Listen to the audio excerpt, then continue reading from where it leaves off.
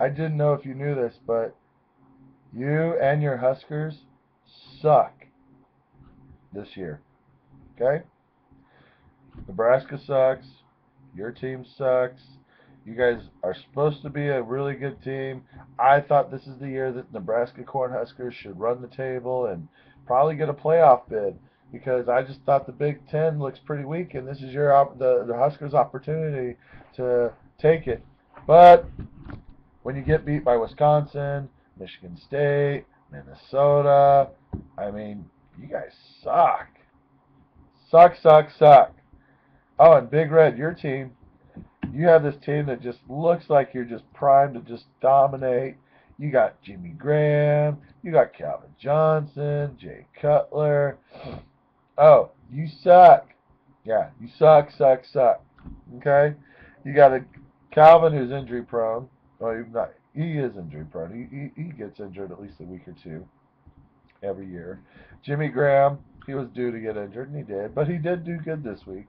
Jay Cutler, maybe you should have stuck to your guns that you you hate Jay Cutler. Every year you're like, oh Jay Cutler sucks, he's horrible, and you go and make a trade for him. Well, ever since you made a trade for him, Jay Cutler has sucked. I don't know if it's just, you know, what what's it called, karma or something, because you smack talk so hard, and so your smack talk just smacked your mouth, your own mouth. But anyway, I beat you with my crappy quarterbacks and my John Brown on uh, had to start. So it made me feel good that I beat you again. And not only did I beat you, but uh, I knocked you into the toilet bowl, buddy. You are toilet bowl bound. Nothing you can do to get you into the playoffs now. Nothing. Look at the points scored. If you win, you'll have six wins. But guess what? There's somebody else who has a better point total than you. This is pretty amazing. Okay, minivan madness. Me and Pink Taco. We have clinched our divisions, and we're still all fighting for the one. I got a one or a two seed. That's well, do I? Actually, no, I don't. I don't have a one nor two yet. Because if I lose and the other two win, it's very possible that I'm the number three still. So we're all still fighting for the one, two, and three seed. But we are all the one, two, or three seed. As for the four, five, six, that would be either B, the Devils, who just beat Biscuit Butt pretty easily, or Hawkeyes, who just beat the Donkey, which Donkey you put up 135 points, and I still don't know how. Hmm. Because you got Travis Cadet as one of your running backs, and Fred Jackson, who Fred Jackson finally came back and actually did something. You got zero out of your tight end, which, I mean, I, you could have started Ladarius Green, but I don't know. Maybe you thought Julius was going to play and didn't have time to go switch it. I don't know. Um, but anyway, you got beat by Hawkeyes, who got 155 points. But I'm saving. So so right now the Devils has 1,868 points, and Hawkeyes has 1,892 points. But how about this? If you guys lose and also don't do that good in the scoring bracket, Fargan Bassages plays me this week. I still need a win. So if I was, I was hoping one, I was hoping I would, I could try to, you know, lay an egg this week, but I can't. So Fargan Bassages, Derek, your team is in the playoff hunt. Yes, you. I know, right? If the donkey loses, he's out. Oh wait, no, he's not out. What am I smoking? Hmm. There's three spots up for grabs. More than likely, the Devils should get one of the spots. Uh, Hawkeyes should get one of the spots. And then the last spot will either be the Donkey or Fargan Bassages. If the Donkey wins, he's in. If Hawkeyes wins, he's in.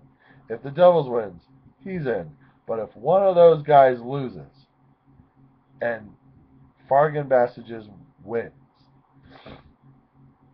then the Fargan Bassages are probably going to make it because he's got 1,800 points right now, which is more than the donkey. So it'll be this is gonna be a good finish for you. I'm rooting for you, Derek. I really am rooting for you. This is pretty pretty cool that you're actually in the playoff hunt this year on your second year playing. And it has nothing to do with you getting an Alfred Blue because Alfred Blue didn't do crap this week. Just letting you know. And I'm hoping Arian Foster's back this week. I kind of need him. Um, so anyway, obviously cardiac kids, bad influence, and biscuit butt and the animals. You guys are all toilet bound. That was a given. So, and for this week's games, let's see. The donkey plays bad influence. That could be a good game. Uh, the great game of the week is Minivan Madness versus Hawkeyes. That's a really good matchup. That's like a possibly a good playoff rematch. It could be a playoff game in the in the making there. Um, I play Fargan Bassages, which actually is a pretty good matchup too, because that's got a good implications. Oh, and doubles versus Pink Taco. All those get three games there. Those are going to be really interesting games to watch out for. So anyway, uh, the pickums. Oh wow, I'm in first. I didn't even realize that. I'm in first in the pickums by one with Big Red Hawkeyes at four, uh, one behind me. Um, I'm going out of town next week, or this coming Friday, so hopefully have internet access at least one of those days when I'm gone, so I can set the playoff brackets. And also, the toilet bowl is just going to be a normal toilet bowl like we've been doing because the website is kind of complicated. I can't really do what I wanted to do. Maybe next year I can with the toilet bowl being, you know, a total points three three game total points thing and highest team scored wins.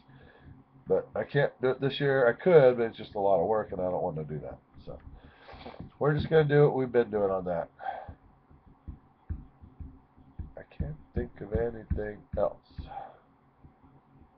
Nope, I can't. Except for I hope the Chiefs can pull out this victory. Gosh, I can't believe they lost to the Raiders. That was so.